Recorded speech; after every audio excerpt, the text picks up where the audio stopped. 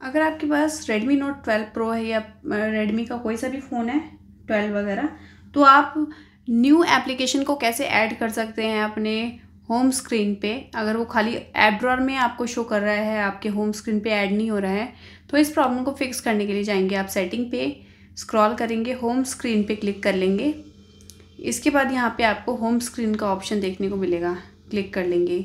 अब यहाँ पे ना लाइट मोड ऐप ड्रॉर और ये क्लासिक होता है। तो आप ऐप ड्रॉर पे रखेंगे ऑप्शन को और यहाँ पे स्क्रॉल करके place new app on the home screen on कर लेंगे। तो जो भी प्ले स्टोर से एप्लीकेशन आप डाउनलोड करेंगे, वो आपकी होम स्क्रीन पे भी ऐड हो जाएगा। इसके बाद बैक कर लेंगे।